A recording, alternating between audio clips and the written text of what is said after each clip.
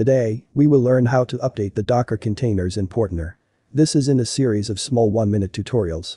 In this tutorial, we assume that you have Portainer installed and running. Click on the supervisor icon, this will open the supervisor. Click on Portainer and then click Open WebGui. Click Containers and select the image you want to update. Click Stop and wait for the container to stop.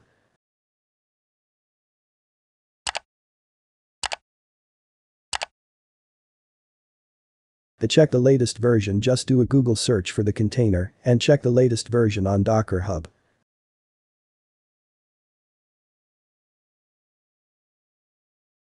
Please like, share and subscribe. It will really help me making new videos on regular basis. To download the latest version, just click the pull icon, which is located next to container name.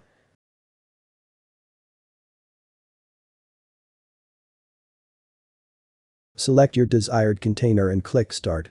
This will start your latest container again.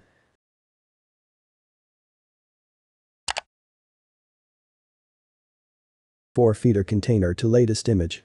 Link to method to install this container can be found in the description below.